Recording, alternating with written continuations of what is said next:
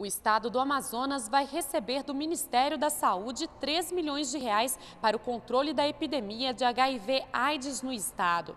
As taxas de detecção, ou seja, de novos diagnósticos da doença, aumentaram mais do que em outros estados brasileiros. No último ano, para cada grupo de 100 mil habitantes amazonenses, 29 casos foram descobertos. A média nacional é de 20 diagnósticos para cada 100 mil habitantes. A taxa de mortalidade em decorrência da AIDS AIDS no estado do Amazonas também é maior do que a média nacional. Os recursos do governo federal, que serão repassados para a Secretaria de Saúde do estado e dos municípios com maior número de casos, vão ser utilizados para ações de vigilância, prevenção e controle da epidemia. De Brasília, Carolina Rocha.